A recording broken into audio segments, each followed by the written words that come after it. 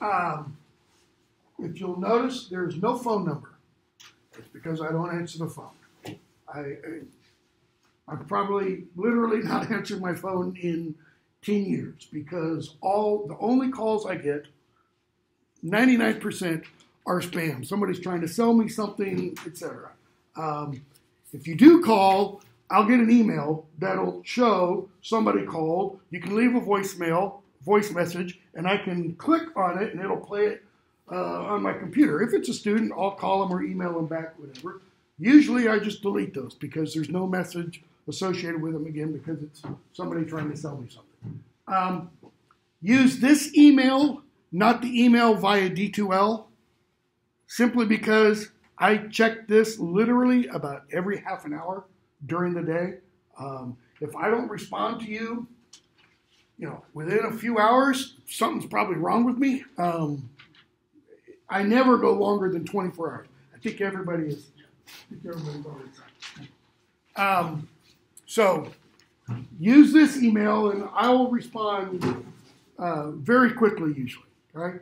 Office hours are from 7:30 to 9 Monday, Wednesday, Friday, and 7:30 to 8 Tuesday, Thursday, or by appointment. There are some Wednesdays, um, usually about once a month, that I've got to be up here at 11:30 for a departmental meeting, so I can meet before then. After then's not as um, not as good, uh, but I can, you know, schedule something to um, meet with you if you need to. Okay? Let's see. So,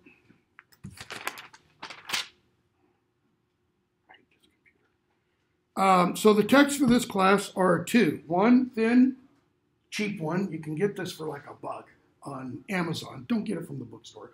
Fahrenheit 451. You could probably get a bootleg um, PDF version off the internet. Fahrenheit 451, written by Ray Bradbury in 1950. And then Michael Myers, um, uh, Bedford Introduction to Literature.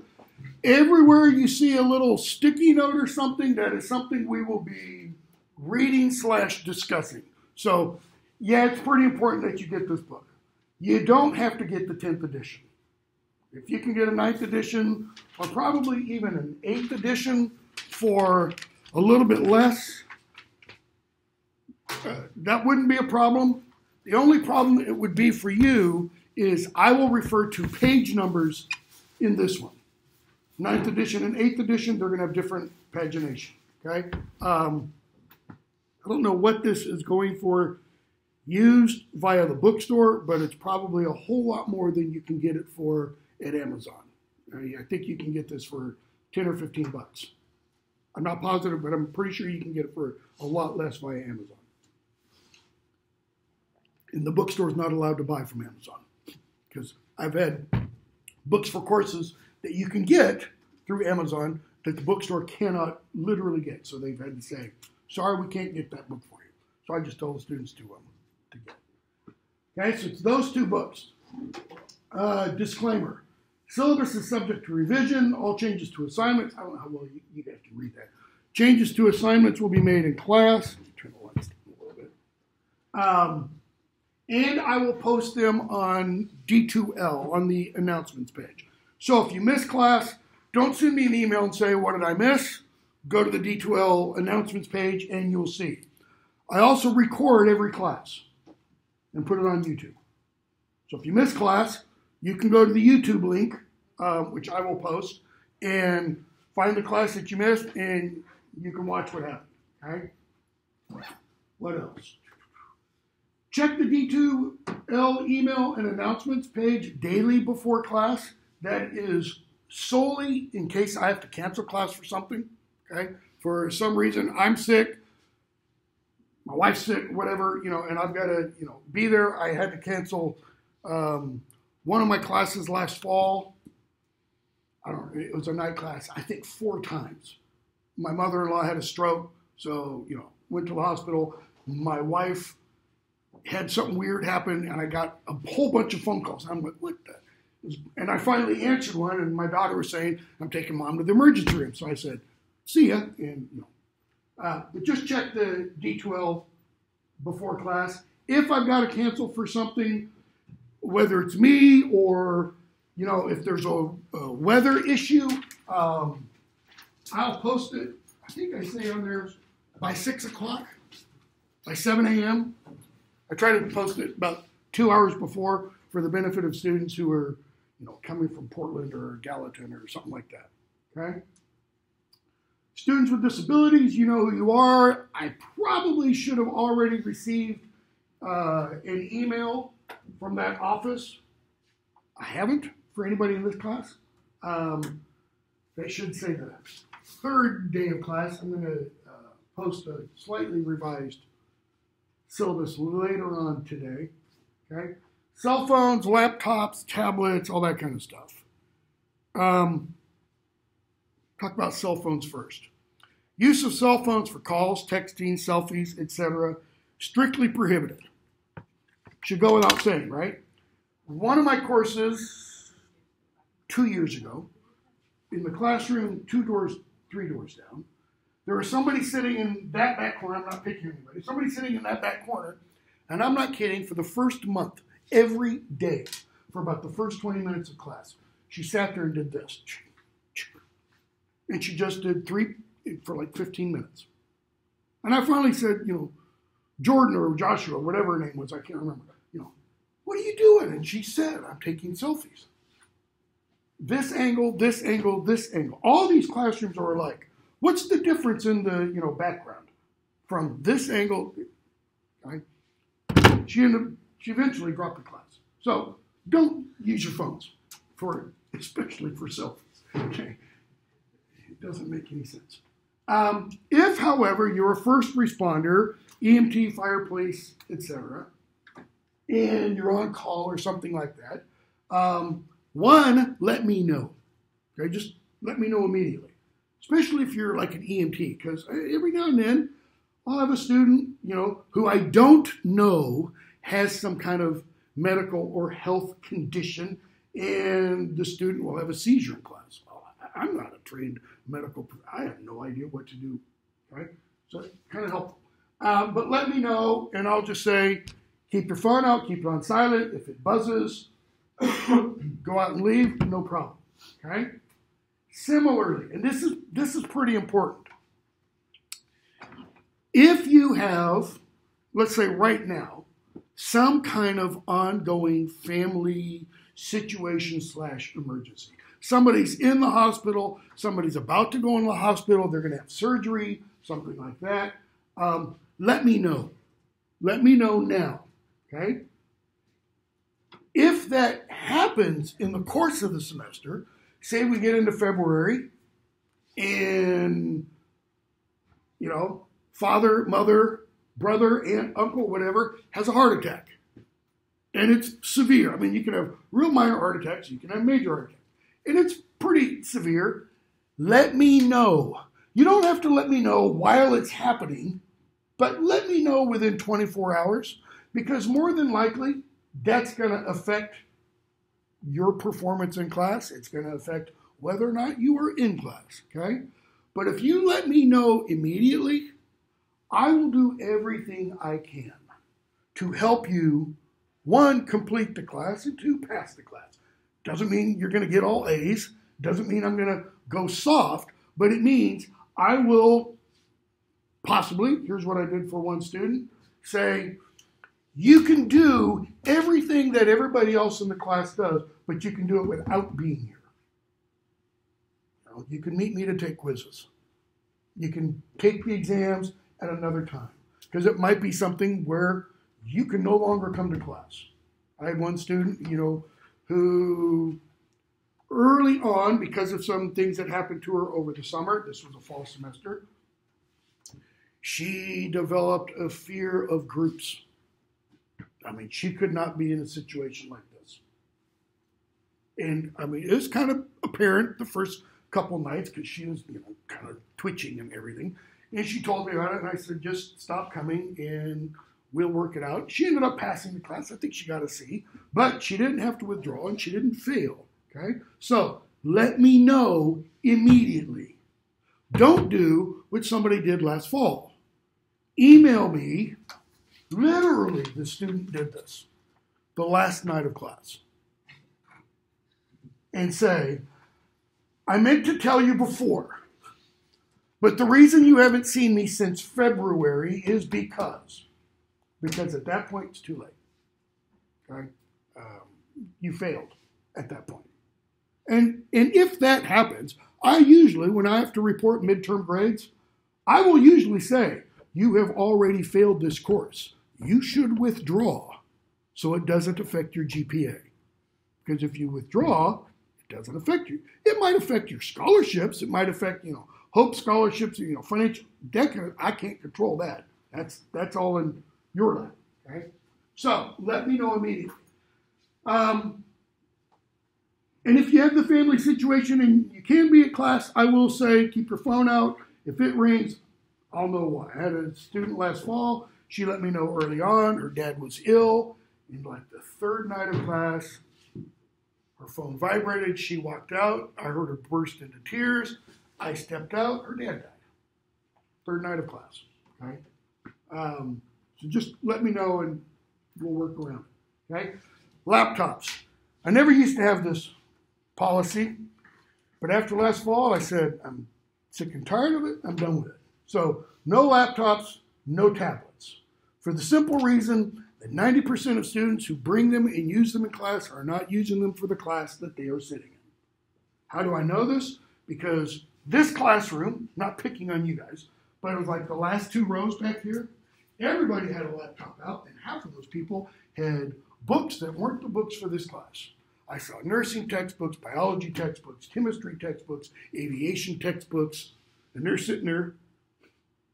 So, just not going to let you use them anymore. I'll still let students in my comp courses, you know, bring them because for some reason I'm teaching in the classroom without any computers. Okay? So don't bring laptops or tablets. Classroom decorum. Decorum just means proper behavior. Okay? Pretty simple, pretty straightforward. Um, arrive to class on time. Why? Because arriving late is rude and all that kind of stuff. In this door, if I close it, the door's locked. It, it's auto, always automatically locked. Okay. Um, if you've got a class before this, let's say in the rec center, let me know because more than likely you're not going to be here on time unless you're a fast walker. Most students don't get from the rec center to here in 15 minutes. Um, let me know and I'll leave it open for a few minutes, but I usually do close the door uh, after five to 10 minutes because one thing you'll learn very quickly about me is I'm a pretty animated teacher and I'm pretty loud. And I've had staff and colleagues and secretaries not from this hallway, but from those hallways, tell me how loud I am. You know, and asked me to close the door. So I did. Um, so if the door's closed, you know, if, if you repeatedly make a habit of coming in late and you don't have a good reason, probably about, about the third or fourth time, I'll just wave. I'm not going to open the door. So you're you're get the idea. Okay. Um, if I'm talking, please be quiet and or pay attention. If somebody else is talking, obviously please be quiet and or pay attention. If we're having an argument, like we probably will when we get to this book, um, wait for the other person to finish, then blast them. Okay, blast them nicely with courtesy. I mean, don't call people, you know, names and all that kind of stuff. Um, courteous stuff, that kind of what that is. Uh, use language appropriate to the setting. That is, no swear or foul language. I'll be the first to tell you. Every now and then, a damn or hell will slip my mouth. Sometimes something a little more colorful, but not usually. Um, don't eat during class. I'm told to say that because for some reason this is a classroom. Students aren't supposed to. I don't know why. There's no technology unless you're going to throw it up at them. Um, I don't care if you eat, but if you eat, don't come in with a big bag of crunchy Cheetos sitting right next to the person next to you because they're going to start twitching. So if you're going to eat, eat quietly, eat silently. If you're going to drink something, that's fine. Don't slurp it to bother the people next to you. Same your gum, all that kind of stuff. Okay? Don't sleep during class. If you're tired, stay home. Because here's what I'll do. It's really effective when the student has his or her head down. Okay. Down on oh, table. Down on the tabletop. I've had to do that I think three years in my 28 years teaching here. Okay. They usually don't fall asleep again after that. Um, I, I'll either literally do that, or depending on when the student falls asleep, like if it's in the first 10, 20 minutes, I might just go and everybody leave. And the student wakes up and and they usually don't do it again. Um, okay. What else? Uh, homework assignments aren't really. Uh, oh, sorry, homework assignments for other classes. Don't do that in here. I'll if I notice that you're doing homework for another class, like if you do have a big biology, i I'll tell you to stop.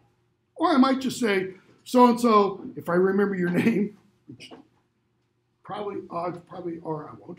Um, I'll ask you to leave. Okay. Uh, don't wear headphones, earbuds during class. I mean, I understand you're coming outside, you're coming in, you've got them on, that's fine. Take them off when you come in. I, have had two or three classes where I had a student, again, not picking on anybody, but usually in the back corner. It's, it's where it seems to happen. Where they come in and they keep them on, and I can hear them up here while I am talking. Okay? Again, I'll tell you to take them out or I'll tell you to leave. Okay? Um, don't really have to worry about the play. Eh, okay, cheating or plagiarizing from another's work. You don't have any. You're not writing any papers in this class. All right. Everything's going to be totally objective. Quizzes and exams. So either you know the material or you don't. There's no BSing. All right.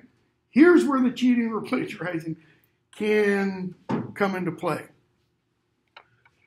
I will have a pretty good idea that somebody has copied from somebody else's quiz, let's say, or an exam, where you've got to fill in the blank, and two people have the same spectacularly wrong answer. I mean, it's like a one in a million that somebody could get be this wrong. But two, and what I'll do is when I hand that back, I'll take those two people out and I'll say, okay, I don't know who, but one of you cheated from the other one. And then I'll let you fight it out out the hallway. Okay? Uh, that happens once, you'll get that kind of warning from me. If it happens a second time, I just refer you to the Student Judicial Affairs Office with the evidence I have. I've never been challenged on something like that because it's pretty clear when they're really, really wrong. And two people have the same really, really wrong answer. Somebody's copied from somebody else, right? Um, come prepared to participate. This means bring the appropriate text to each class session. That's either going to be this or it's going to be this.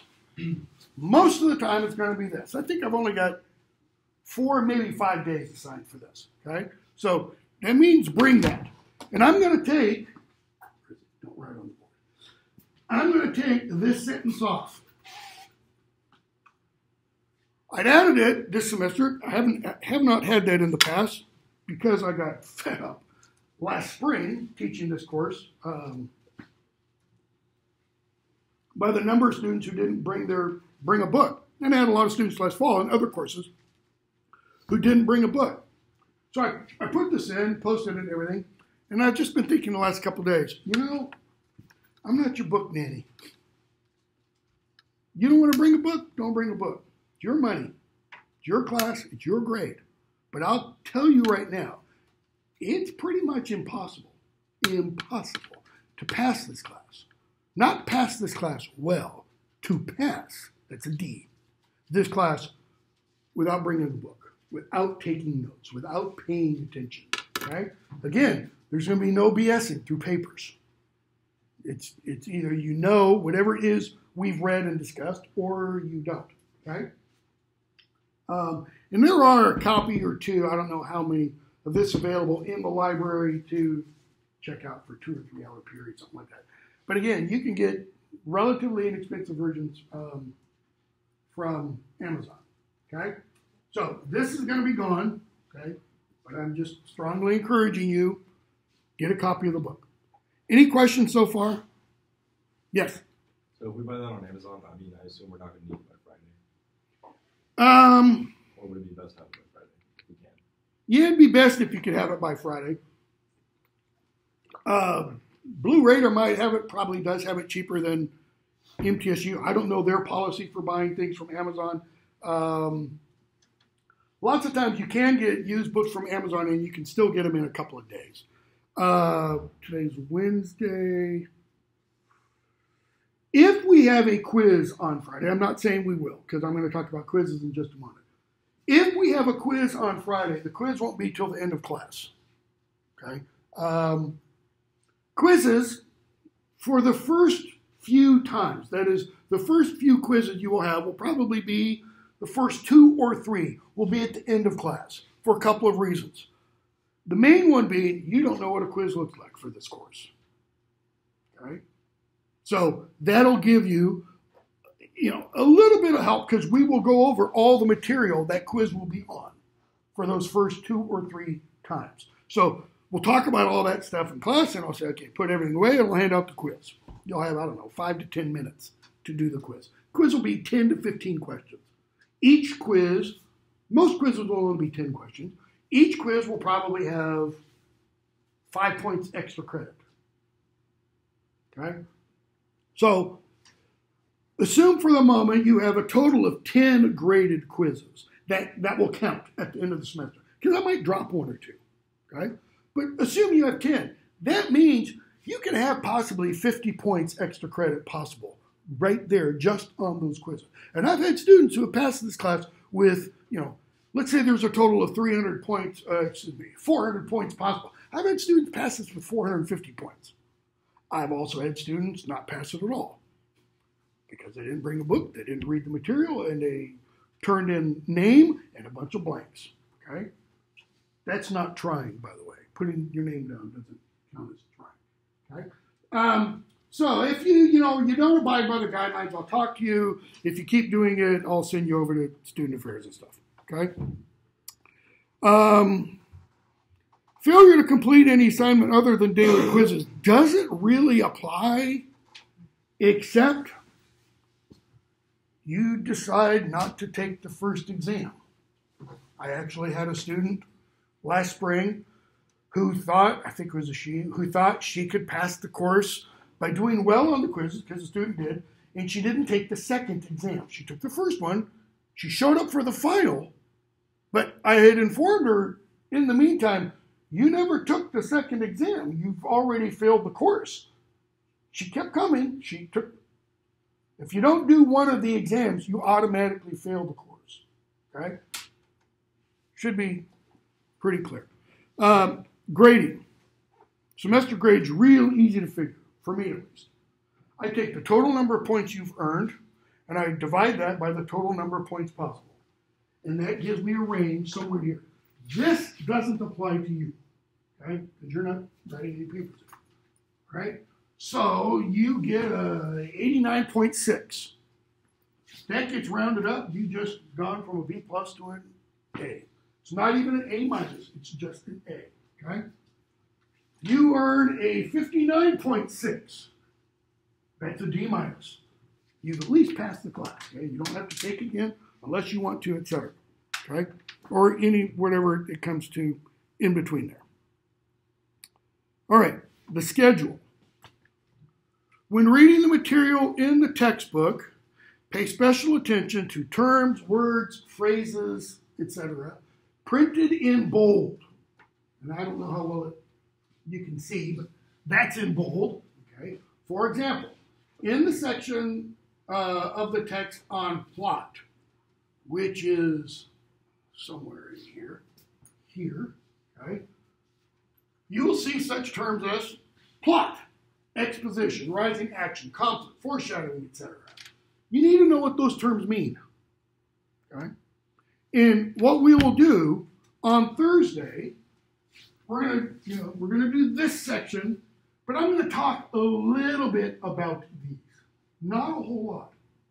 Just a little bit. Why? Because we're not starting with fiction. But I've included it here because I do want you to read that because this is only what total of six or seven pages. Okay, um, and even in these, you know, there's there's a lot of stuff that you're going to be able to skip, and I'll I'll tell you what in a moment. Okay, um, but I want you to to read over this and to read over this. Okay, so when you see a word in bold, you need to pay special attention to that. You know, maybe highlight it. Maybe if you're one of those really, you know, focused students, you know, you pull out a note card write. I don't care what you do and how you do it, but you need to pay attention to those terms. Why? Those are what more than likely are what are going to show up on quizzes. I, I can guarantee you there will be a question that says something like, um,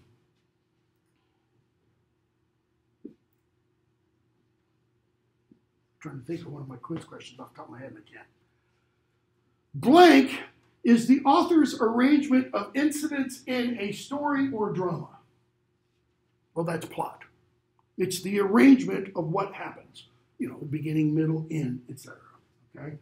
So, I mean, those kind of terms. And again, for each section, that is for fiction, for drama, for poetry, you'll have one of these kinds of big sections. This is reading imaginative literature. I don't know why he uses imaginative literature. What he really means is fiction. Okay? So, reading imaginative literature.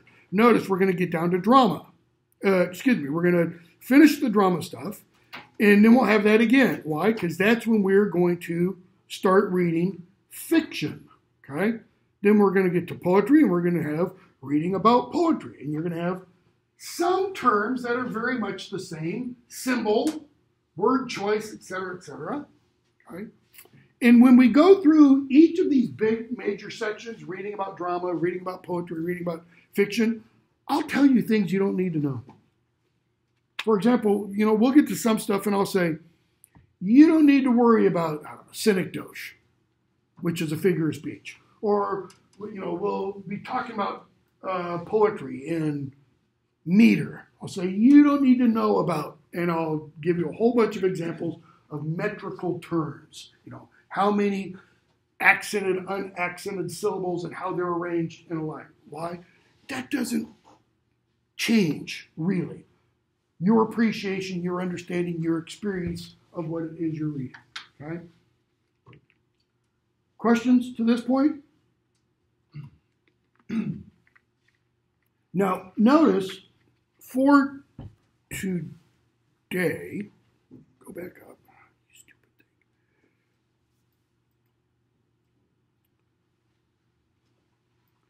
Syllabus course introduction, and then I give you the reading imaginative literature, introduction, fiction, all that kind of stuff. And then I say, watch this video. Okay, now if this were, I don't think it'll work here. No, well, if this were the Word version and you were using um, a uh, non Mac version and you right clicked on that, it would ask if you want to open it in a new window. You could open it and it would take you to, I don't know how long it is, two hours lecture of me going over all the important terms in this section. Right? So I suggest watch this video because that will then prepare you not only for that stuff, which is going to come up about midway through the semester, but it will also help for this. Why? Because a lot of these same terms are the exact same terms that show up in understanding drama. Okay? Plot, structure, point of view, character, setting, and we'll talk again about quite a bit of that, quite a bit of this on Thursday. We're going to try to also cover these. But in doing that, again, it's going to be restating a lot of this kind of stuff. All right? And then starting next week, right? Yeah, Friday's the last day this week. Starting uh, Monday of next week, we will do this little bit of background stuff of Shakespeare, and we'll start our first play. Shakespeare's Midsummer Night's Dream, first couple of acts. And then we'll have another day for the Act 3, I'm not used to teaching this on a three day week schedule. We might get a little behind, I'm not sure. And then another day for the end of Shakespeare's Midsummer Night's Dream. Okay? So three days for Midsummer Night's Dream, five days for Hamlet. So we're doing two plays by Shakespeare. Why? Because he's the greatest writer in the English language? No, but because, especially this play, Shakespeare is wrestling with some ideas there that are very, very relevant today. That is, they are universal. They apply to everybody at all times. Okay, Shakespeare wrote Hamlet about 1603. I would argue they apply to people who lived before Shakespeare. For example, um, where is he? Sophocles. That is, Shakespeare's writing about some ideas that Sophocles is also addressing in these two plays. Well, who is Sophocles? He was a Greek guy who lived in around 500 BC. So we're going to be reading two plays by a guy who's been dead for 2,500 years. Why? Well, because the first play, Oedipus the King, also called Oedipus Rex, deals with this whole idea of fate. Can you can you escape fate or destiny? Are you is there fate? Do you have any control over your life? A lot of people think they don't have any control over life. They think the man, the system, the establishment, the fill in the blank, controls everything. Well, that's one of the issues this play is dealing with. Why? Have any of you read that before or heard of it? Okay, a few of you have. It's about a guy who hears, discovers that there is a prophecy made before he is born. And that prophecy was, You are fated, there's that word, you are fated to kill your father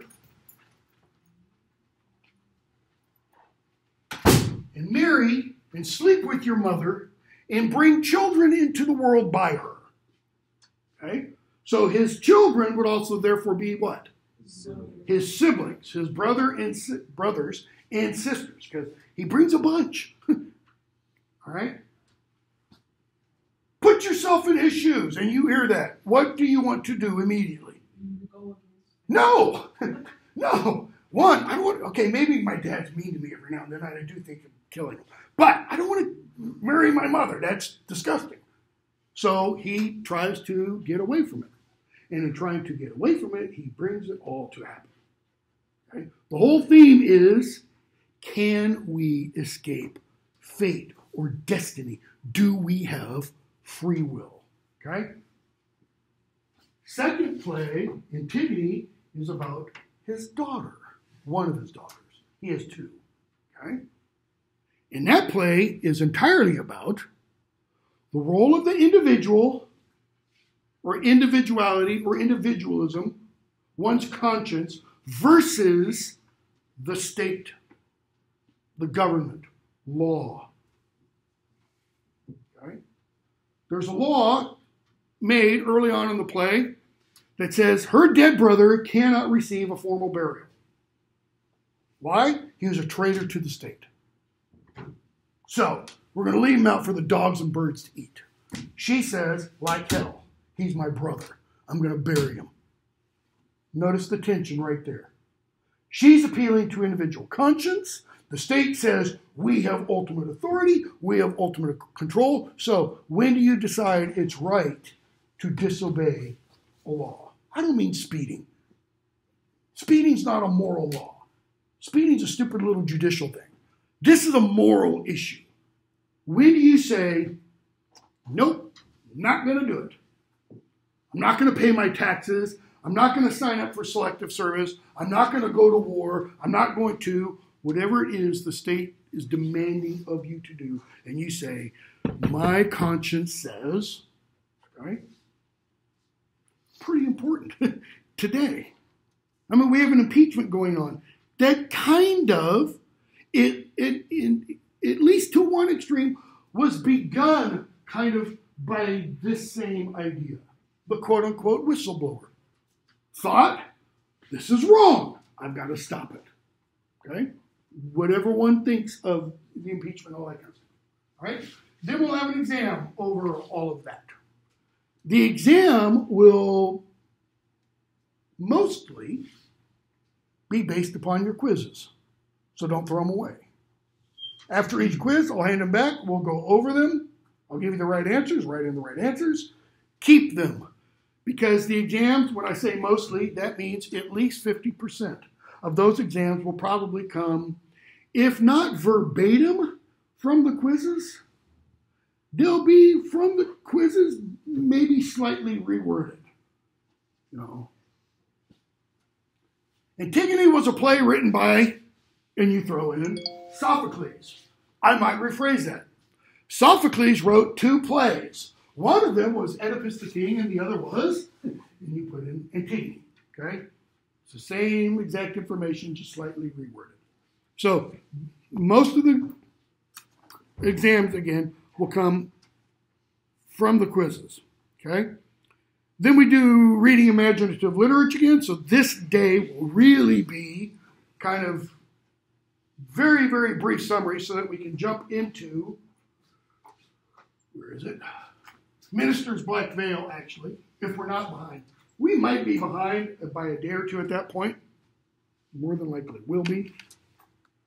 Um, and we're going to read two short stories and then this novel. Okay? Short stories Minister's Black Veil by Nathaniel Hawthorne, famous mid 19th century American uh, bleak author. I mean, Hawthorne apparently had no joy in his life because everything he writes is just depressing, including this one. It's about secret sin. Um, and then Flannery O'Connor is A Good Man is Hard to Find.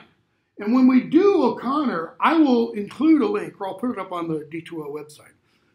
A link of Flannery O'Connor reading this short story. It's not very long. It's, I don't know, seven to 10 pages, something like that. Um, the way she reads it is very humorous. I mean, she makes it sound like it's funny. I don't read it that way. Okay?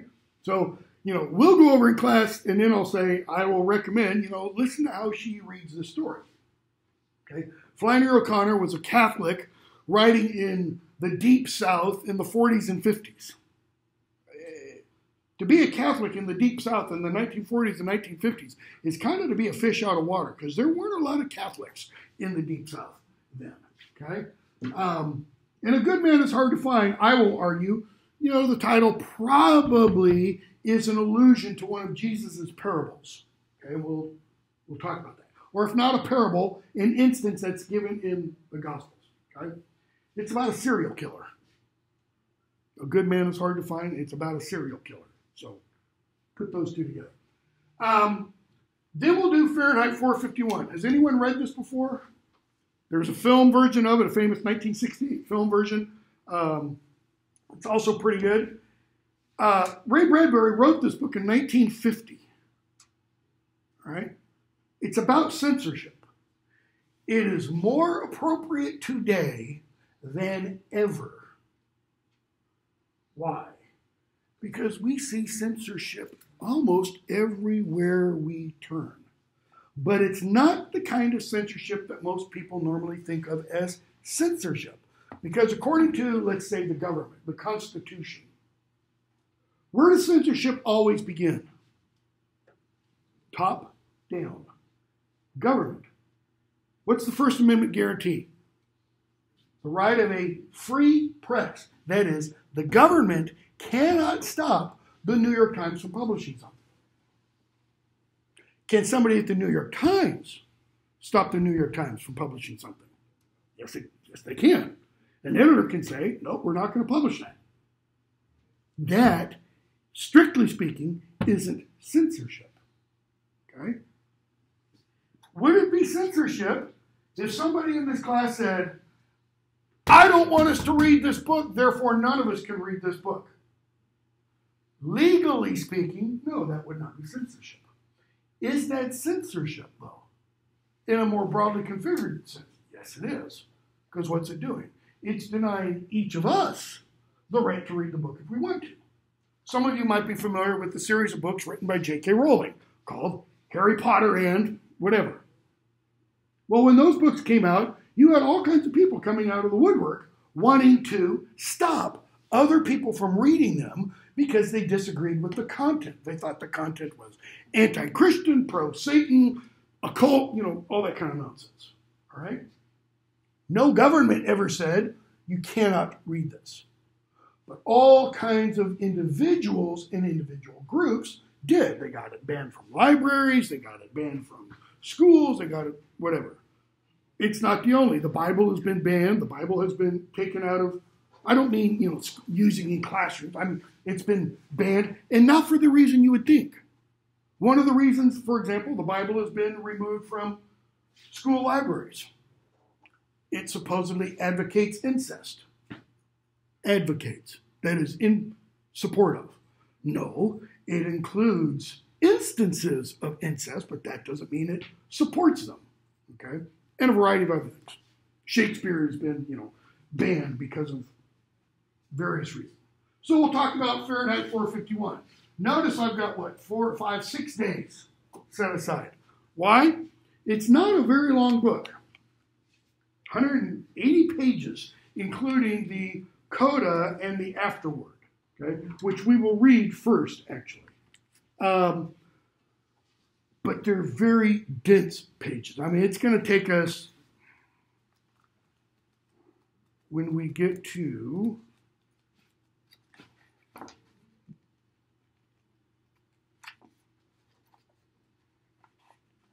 this one page, a couple of pages, in the middle of the book, where one of the characters tells the other character why books became dangerous, etc. It'll probably take us an entire period, maybe two, to talk about some of the issues that Bradbury's raising in 1950. And I'll warn you right now some of you might get really offended by what he says. Okay? Because he doesn't pull any punches. Everybody gets skewered. Right? Um, if you have a sensitive nature, if you don't like discussing ideas, this might not be the class. You might want to take something else. Uh, I'll just throw that out there. Because there are no sacred cows in my classes at least. Everything is open for discussion. Everything. Why? I believe in what's called the free marketplace of ideas. That is, the university is the one place in America where all ideas are open for discussion. That doesn't mean, hear me carefully, that doesn't mean all ideas are equal or equally valid. Good ideas, better ideas should defeat worse ideas, bad ideas. Racism, for example, or prejudice, or bigotry, or you know, whatever term you want. To me, bad idea. So defeat it. How do you defeat it? With logic, with reason, with marshaling a good defense against it, or a good, better yet, offense against it. Show why it's wrong. You know, in other words, you can only do that if you listen to the other side and hear the flaws in the arguments, et cetera, et cetera. So there's nothing in here that I'm going to say, ah, we can't talk about that. That's too dangerous, or that's not nice, or that's mean, or that. Nope. But we're not going to. We're not going to. How do I want to put this? We're not going to devolve into name calling, group, whatever. Okay, we're going to keep it civil level. Okay, then we go to poetry. Why do I put poetry last? How many of you read poems? Yeah, that's what I thought. How many of you listen to poetry? Liars. You're all liars. Because not a single person raised a hand. How many of you put on earbuds at some point during the day? Yeah, every one of you. You're probably not just listening to instrumental music. You're probably listening to words accompanying that music. That's poetry. It might be, my opinion, it might be bad poetry. It might be good poetry. Okay? But it's poetry. Okay? So we'll talk about that. We'll talk about, you know, all this kind of stuff. And then we're going to read a bunch of poems. and I think I've made this so that we don't have more than, it's kind of hard. Um, three, maybe four, no, one, two, three. I think no more than four poems in a single day. Okay. And that's just because we only have 55 minutes. And if we have a quiz, the quiz is going to take five to 10 minutes. So that only gives us 45 minutes um, at most. Some days, uh, especially when we get to the poetry section, some days we might leave early. Okay? I don't know how much early. Some of these poems are pretty long, some of them are really short, and quite a few. Several of these poems from April 1st to the end um, well, maybe we won't. I was going to say we might cover in talking about these terms, but because we only have 55 minutes also that day, we probably won't. Um, so we'll see. So, like, this is a fairly short poem, but this one, I don't know, this one's about 50 or 60 lines. Um, it might take pretty long. This one's 40 or 50 lines. This one is 20 or 30 lines, but it's total nonsense. And so we won't spend much time discussing what is the meaning of Jabberwocky, because it has no meaning, because it is literally nonsense. Okay? It's written by the guy who wrote Alice in Wonderland and such. Um, we, we could end up spending the entire day just talking about Acquainted with the Night or The Road Not Taken or stopping, whichever one. Okay, so we might get behind. Um, we'll try to cover them all. The final exam is on May 6th from 10 to 12. Okay, it'll be in class. It'll it'll be the exact same format as the previous two exams. Okay, it'll only cover poetry. Each exam only covers the material since the previous exam. So the first exam over drama will essentially cover everything from today to that day. There won't be anything from today important on it.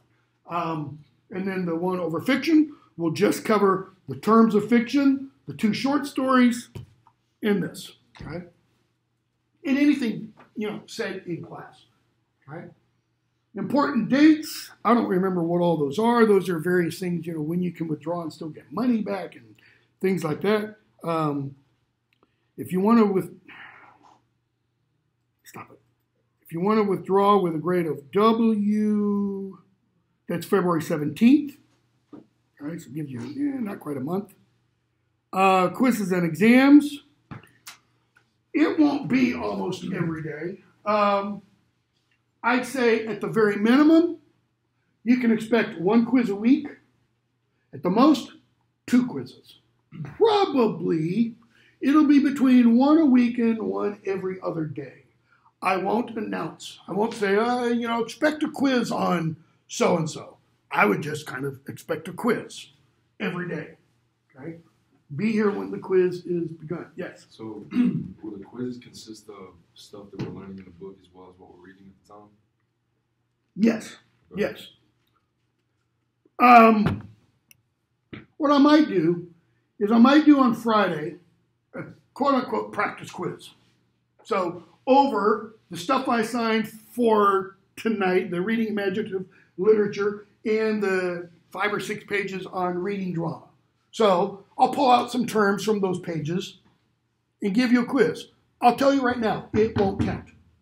All right? But it'll give you an idea of what they look like. Okay?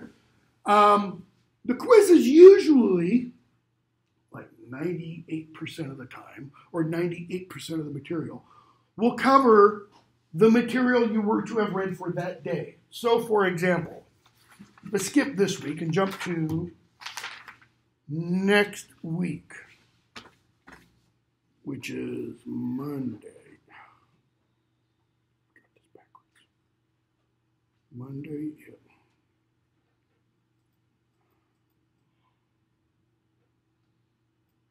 Monday is the 27th. So, assume there's a quiz on Monday. It will cover the material on pages 1534 to 45 and or the first two acts of Shakespeare's Midsummer Night's Dream. Okay? So the the the pages 13 uh, excuse me 1534 to 45 those are things about the background of Shakespeare's theater. Okay? You'll have words like, I don't know, tiring house. You'll have um, things about Shakespeare's background. You know, who did Shakespeare marry? Could show up because we're told he marries Anne Hathaway, not the modern, but obviously. Okay. Um, you know, an extra credit could be in what year was Shakespeare born and what year did he die? Might be worth one point, might be worth two points, one for each. By the way, he died on the same day as he was born. Right?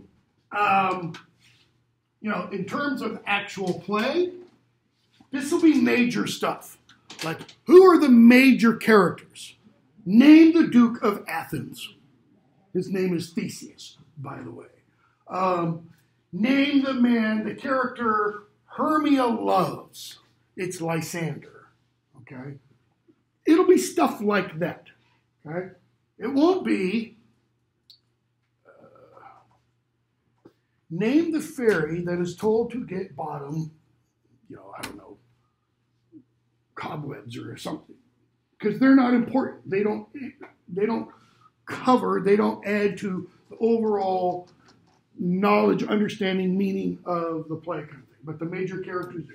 So it could cover major characters, it could cover major plot, it could cover where the play is set. Midsummer Night's Dream is set in two places. It's set in the city of Athens and it's set in a wood outside Athens. So you can have a question. What are the two settings for Midsummer Night's Dream?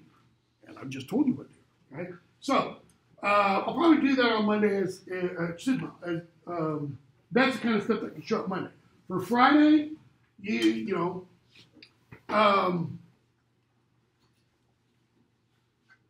showing and telling are two ways for an author to uh, create what its character.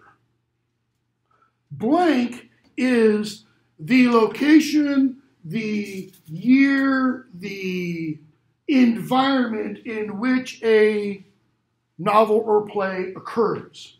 Setting is that kind of thing. Okay? I already said, you know, blank is the author's arrangement of incidents in a story or play. That's plot. Or it could be plot is, and you fill in the blank.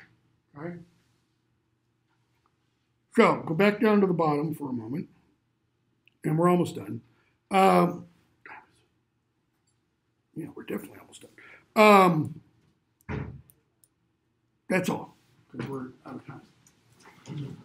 If you have any questions, you can shoot me an email. I mean, I've got class right now, so I can't stick around. To bring those